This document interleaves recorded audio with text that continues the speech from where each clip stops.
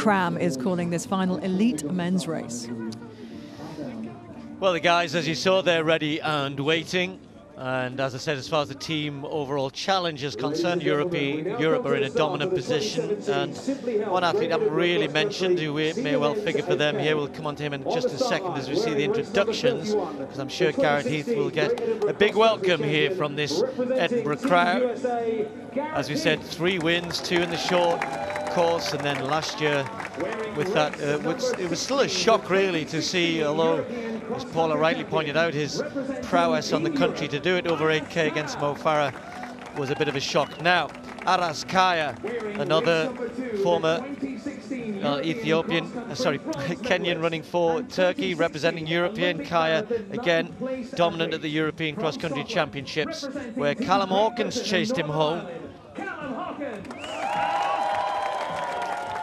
Brilliant 2016, that ninth place at the Olympic Marathon. And of course, he led that race for a, a decent time as well. Representing Team Great Britain and Northern Ireland, Sir Mo Farah. Well, he's going to have to get used to that, isn't he? Sir Mo Farah, introduced to the crowd. And there, well, you don't need to keep repeating his phenomenal performances over the last six years.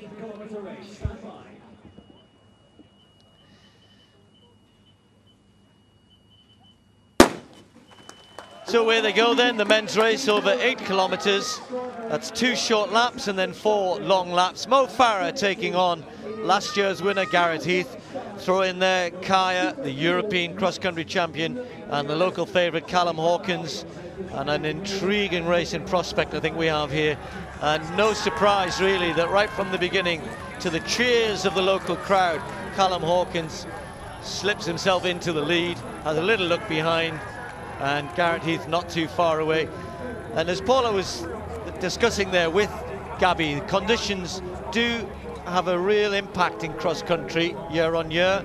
Courses, ground underfoot, and it doesn't, you know, different conditions means that certain athletes can thrive when on other conditions they don't. And it'll be really interesting to see whether Garrett Heath is able to repeat that brilliant performance last year on a firmer a less muddy course this year. At the end of the day, though, you know, the pedigree that he's shown, that Hawkins has shown, Kaya has, obviously Mo Farah has, I'm sure will come to the fore here. Andy Vernon just moving up on the outside. Good, strong British contingent, just quickly go through them. I mentioned Farah Hawkins, Vernon, of course, Dewi Griffiths, Ben Connor, who ran well at the European Championships, young Mohammed Mohammed, who moves up from the junior ranks, picked up a bronze medal individually. He moves up to represent Great Britain seniors for the first time today. Johnny Taylor from Morpeth, Charlie Hulson, Alex George, Ellis Cross, Jack Martin and Graham Rush. So big British team. And as I said, I'm not sure they're going to be able to drag themselves back in to the lead in the overall team challenge, but they'll want to finish ahead of the USA and Europe here if they can. Well, Paula, you, I'll, I'll, begin with you. Brendan's ready to pick up the mic. I'll be actually both of you didn't mind going to the front, did you, in your careers? And uh, he's never fearful. The one thing Callum Hawkins runs with is a complete and utter lack of fear. He always has respect, but he has no fear of anybody. Which is absolutely the way that you need to attack cross country and indeed marathon running. You need to have that respect for the distance, for the courses that you're racing on, but not be afraid of it. And I think Callum's lack of fear, if you like, comes from his uh, confidence in the preparation and in the training that he's done. And he knows he's in the shape of his life. He ran really well through last year, went away and built on that again in Fahama um, in his altitude training stint before the European Cross Country Championships. Came out and really committed to racing there as well. Wasn't afraid to, to go with the leaders and to, to cover the moves and absolutely racing like that again here today. Well, we're, you, Brendan, we're used to seeing Mo Farah not necessarily being at the front when the Olympic 10,000 metre gets underway, but um, already Mo is well back in the pack. Uh, have these guys gone off a little quick here? A couple of short laps. Pearson, we wouldn't expect to figure. And Callum's getting sucked in a little bit to kind of racing him in these early stages. They've gone off really, really quickly. They've gone off too quickly. They're going to have to settle and slow down. It's eight kilometres. It's a good distance. It's six laps to run two short laps and then four long laps. And you can tell by the cadence of Callum Hawkins that they're going really quickly. And if you look at the gaps that are opening already, it just tells you that this race has started with a fierce pace. And Pearson, the American, surprisingly, has decided to take them on, and he's acting like a pacemaker at the moment. He's working hard, he's running hard, but Callum Hawkins, who when I saw him on the start line, there's Mo Farah right in the back of the group, they've just taken it to Mo, and maybe maybe the fact that Mo's in the race has given them a, that little bit of extra urgency, but they've gone off far too quickly, and they certainly will have to slow down soon. Yeah, 251 that first kilometre, and uh, given the fact that you've got another seven to go, that was pretty swift. It is cross country, and you should always have to be a little bit careful about times, but that's quick enough. Gareth Heath right up there. But it's interesting when you think of how good Aras Kaya, the sort of form he's in, he's happy to sit back, maybe watching Mo Farah a little bit, but Mo is right back in the pack. There he is, just going through. He's a long way back. I would have expected at least to see him at the front or near the front of that chasing pack, accepting that these three have really put their foot down early.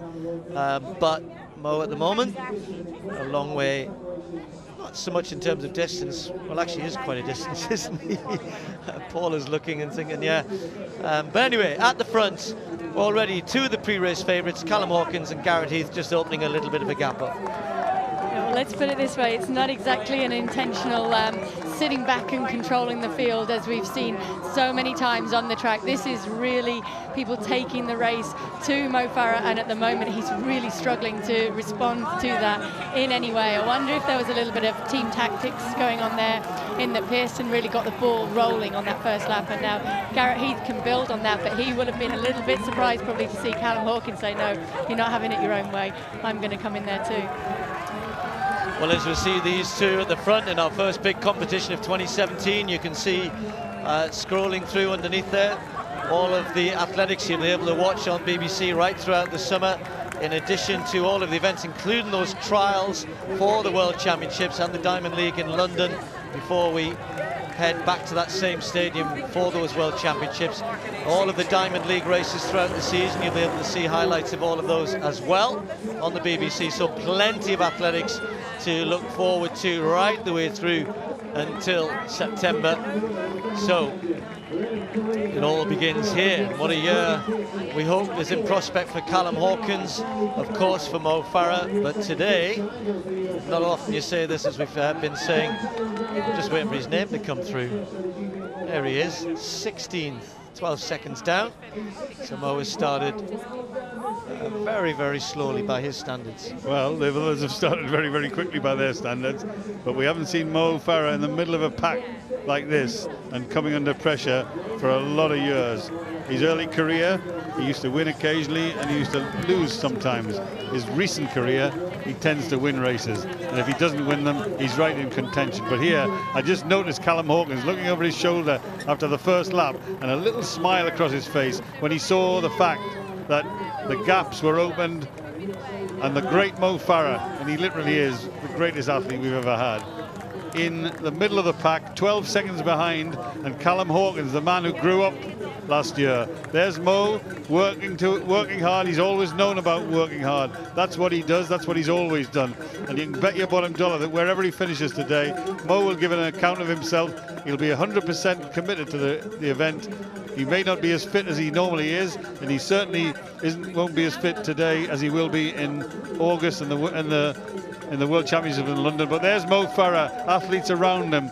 A slight look of disappointment on his face there because he's out of the out of contention so far. And Callum Hawkins is running as an excited young man in front of his home crowd. He's got good athletes from America behind him, but he's doing the job. And the Americans are indeed packing well. 28 points after two laps, uh, two short laps, a long way to go. But actually that deficit they put between themselves and Europe means that overall the USA are back in front ahead of Europe. As I said, Great Britain not really, I don't think, going to lift themselves more, trying to move through the pack at the minute, but it's all down to Callum Hawkins at the front. So it's Hawkins, uh, now Korir up there with Gareth Heath. And again, we're with uh, Chelanga as well, uh, Kebenei in Korir, and indeed Hilary Bor as well, the American team full of Kenyans, most of whom went there to college and have been there quite a few years and eventually been given US citizenship, now competing for US. But Mo, a long way down there. And I bet you it hasn't been too many years that uh, Ben Connor's been running alongside Mo Farah after a couple of miles in the in the cross-country race. But Mo just starting to move a, a, a little further up the field. But if you look at him closely, as we just did there, you'll see a different look on his face. He looks he looks as though he knows he's not in control of this race today. These three guys have got a big lead now, and it's up to them to decide how this race goes. Mo's so far behind now that he's got to actually commit to the race himself. But these guys have to slow now, otherwise Mo's got no chance of catching them. But if you look at Callum Hawkins, he's he's done the he's done his homework. You know, he's a marathon runner. He's run an exceptional half marathon recently. He's been training hard. He ran a good cross country just before Christmas, and here he is on his home patch, a race he's been aiming for. And there's Mo Farah. And just look at him. Just look closely. You'll see the expression on his face that you don't see when Mo's in complete control on the track. This is Mo Farah being at the mercy of other athletes, whereas normally the other athletes are at his mercy. He controls, he dictates, and he all, all, almost orchestrates these win races when he wins them. He's not orchestrating this today. I tell you, it's almost a look of panic on his face, Bren. There, it's like, what do I do here? This is a bit of a, a wake-up call. Uh, I've come here, I've had a, a, great end to the year, and I wanted to come out and race well, and this really isn't going well. And it's a bigger look of panic than you saw when he fell in Rio and got himself up there, because there he knew he was still in control. But the person really impressive here is Callum Hawkins. When you look back as far as Kaya, who beat him in those European cross-country championships, I mean, yes, it's a different course and it's a different style of race, but that's a huge huge distance back to a man that he finished a fair distance behind in Sardinia. So they're coming to complete the first of the long laps. They had the two short ones, four long. So approaching kind of halfway in this race. So Callum Hawkins just had a little look behind to see who he's got for company. He's got Leonard Korir, who was in that Olympic final with Mo Farah in the 10,000 metres. And Garrett Heath, the winner from last year. Look at Mo. That's uh, a man working hard. He's now got himself uh, into second place as far as Great Britain are concerned because he's just moved ahead of Johnny Taylor and uh, Dewi Griffiths. But he's still out of the top 10. There he is, 12th. So he's moved up 20 seconds behind the leaders. And uh, it's a hard day at the office for Mo Farah. But this sort of thing, you know, I, I know what you guys are saying, and but you know, and I, I, think he will want to run as well as he can. He's he's going to try as hard as he can. But I don't think he'll get that distressed afterwards. He knows what the big target is for the year, and he knows he came here. You know, he had to have a bit of downtime after the Olympics, and he's got to build up again. And he's in that process now. He knew coming here today was a risk in terms of trying to win it. I don't think any of us actually, the three of us sitting here, actually Paula thought he might win, but um, he knew it was going to be tough for him. I'm just surprised that he kind of started so slowly.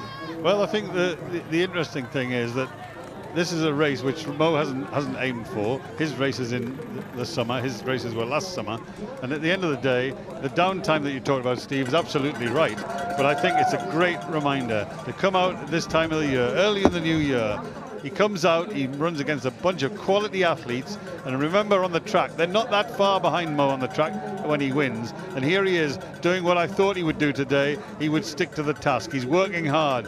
He's working his way through the field. He knows this is not the norm. He's got a bunch of American athletes ahead of him. He'll be competing because if you one thing that's defined Mo Farah's career is that he's always prepared to work harder than anybody else. And Callum Hawkins, he's setting this up for the other two athletes. Garrett Heath is running a quiet race in third place. Callum Hawkins is running strongly and running well. Korir on his shoulder. They're very lucky that they've got an athlete who's running so quickly and he's prepared to do the work and they're sheltering behind him. So now it's about time that Callum starts thinking about the strategy of the race. He hasn't run away from the field. He's ahead of the field, but he's got to now think how he's going to do in the later stages. This is a great career opportunity for him. It's a great opportunity for him to win a big race, a big international race in front of his home crowd, and a big opportunity to take the scalp. The first time we've ever seen a Knight of the Realm running a cross-country race, Mo Farah, and he's further down the field, and to have Mo in, in the lower down the ranks and have him ahead of him, that's a great one for Callum. Yeah, I mean, I think Mo might be trying to hand that back. It's weighing him down a little bit running around here today. But um, I think probably definitely the celebrations of the end of the year and the fact that he hasn't focused on this will be affecting the way that Mo's raced today. He won't have expected them to go off as hard and as fast as they did. And definitely that was in Callum Hawkins' plan. And he would have known that that was to his advantage to try and get this pace moving as quickly as possible. And yes, I agree that Gareth Heath and Korir are having a little bit of, of, a ride on the coattails of Callum Hawkins, but they're working hard and they're having to work very hard to maintain that contact. And I think Callum Hawkins knows that this is his best chance to try and win this race here today is to keep turning that screw in the middle of the race and keep making everybody work hard and run the finish out of them.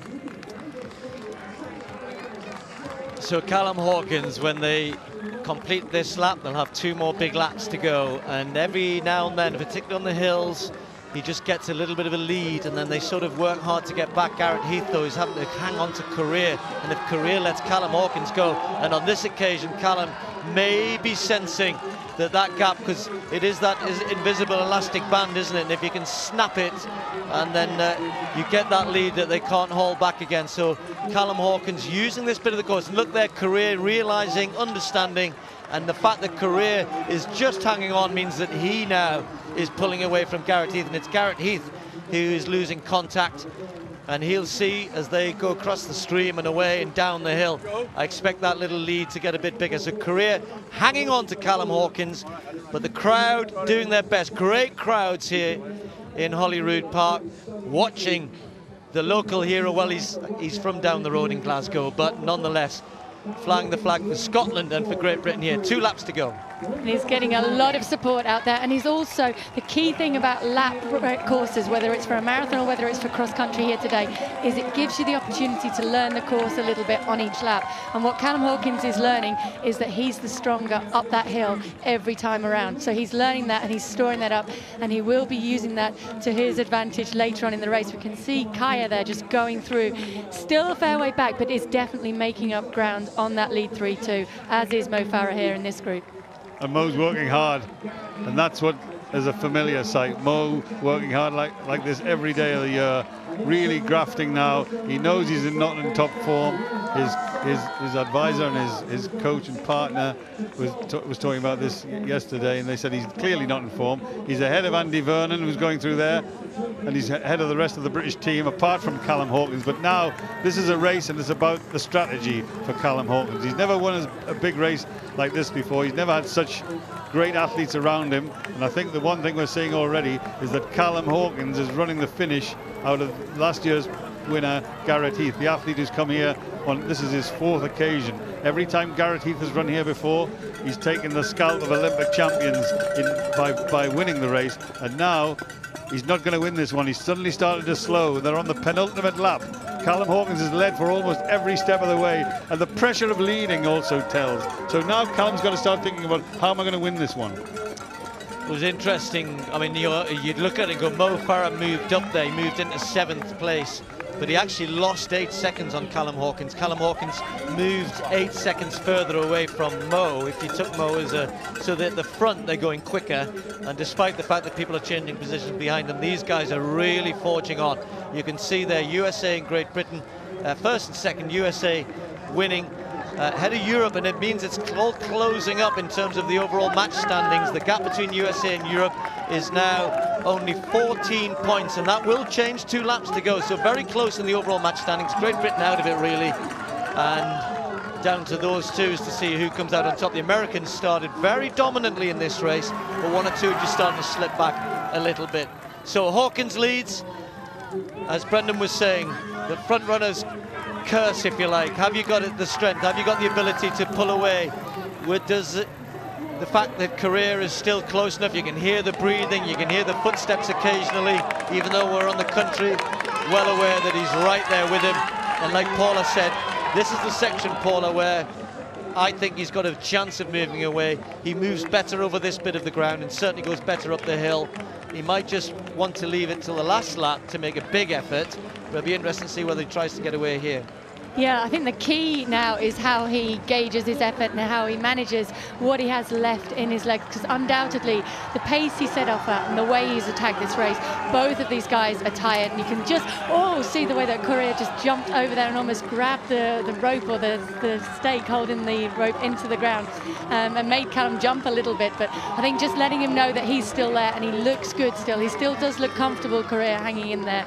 But yeah, the smart thing for Callum to do now would be to just back off a little bit, save something in his legs to really attack this section on the last and final lap. But this is exciting. This is exciting to see Callum Hawkins running so well there. And we talk about Mo Farah moving forward and moving on to the marathons and moving on to the roads. He's going to have a big challenge just to be the best British guy on the roads if Callum keeps on improving at this rate. And he is improving. And once again, he's doing what he's tried to do before. He's trying to stretch it on the tough part of the course. But Korir is on an easy ride, you know. He's just been following. He, when he jumped over the water there, he looked particularly comfortable. He's doing it in style. Callum Hawkins, he's trying to win this one. He's got great fans here. They're urging him along, but Korir is beginning to threaten. He's moving up onto his shoulder with comfort and with ease on occasion. These are the chances for Callum Hawkins. This little incline and this jump over the water. Can he do it again? And can he now? He look, keeps looking over his shoulder. He's now got to think about tactics. How is he going to try? As they come down the hill, he'll hear the bell sound. One lap to go in front of his home crowd. Can he keep it going enough? Can he do something different on the last lap? Just by leading, he hasn't been able to break Korir. Korir's a minute faster than him over 10,000 metres on the track. He's a better runner on the track than Callum Hawkins. So now we're going to find out who's better on the country. Is it Hawkins or is it Leonard Korir of, of America running just next to him? Callum Hawkins leads by just half a metre or so. The European champion Kaya has now moved into third spot. Chelanga giving chase. And as Garrett Heath just starts to drift back, he's made a brave defence here and he got sucked into going out there really hard, Garrett Heath, and he's just paying for it a little bit. He might have half an eye on Mo Farah behind him, chasing. There's Mo Farah. He's working so hard. And, you know, for Mo, you wouldn't normally expect to see him uh, with Ilada's company next to him. So I think, you know, it's it's a tough day, as we said, for Mo. Sorry, it's uh, Bouchiki, but he's still sticking to the task as well as he can. He's now 36 seconds behind Callum Hawkins. And I'm loving this. I'm loving watching Callum Hawkins do his utmost to get away from Leonard Korir. As Brendan said, Korir on the track, better pedigree, 13.15 at 5,000 a minute quicker at 10,000. Actually, Callum's new half marathon personal best is a bit better than Korir's. He uh, also ran a personal best this year at 61 minutes. But this is here in Edinburgh in January. Callum Hawkins in front of a home crowd now working really hard. He probably knows if he's going to win this, he needs to get a 10-15 metre lead before they come onto that last downhill section. He's trying to win it now. He really is. He's thinking now, okay, he's settled a little on that last lap, and you can see the intense look on his face. A yard or two is growing. Now, this is a bit of a chance for Callum Hawkins up that hill, but he didn't take that particularly well. Korir responded to him quickly. Now, a yard or two. Can it grow further? Steve was describing earlier the distance runner's curse for the leader. Can you open enough yards? Can you dis disillusion the other athlete? And here they come. Look how hard he's working. Look at the look on his face. He's getting fantastic support, but he needs that fantastic support. That yard has grown to three or four. Is it enough? It just needs to grow a tiny bit more. I mean, it's much easier to actually break that distance on the cross country and on the road than it is on the track because you can always maintain that vision and that sight on the person in front of you and on the cross country. With the twists and the turns you can build up that gap a little bit more in the mind of the person chasing and he's trying to do that at the moment. Callum Hawkins is really working hard. And wouldn't it be great to be able to see him going into a world cross country on a real tough cross country course this year? Unfortunately I don't think we're going to see that. He doesn't want to make the trip out to Uganda so he will be moving on to focusing on the roads for the rest of the winter after these cross country races but it would be great to see him head into that with a strong victory here today, but that gap just isn't quite big enough yet. That's exactly what I was about to say. This gap needs to be bigger. Korir knows it and is closing again on Hal Hawkins, who made a massive effort to get away. And he just wants to make sure here, doesn't he? Because he knows how strong Callum Hawkins has been around this section. So for the first time, the American moves to the lead.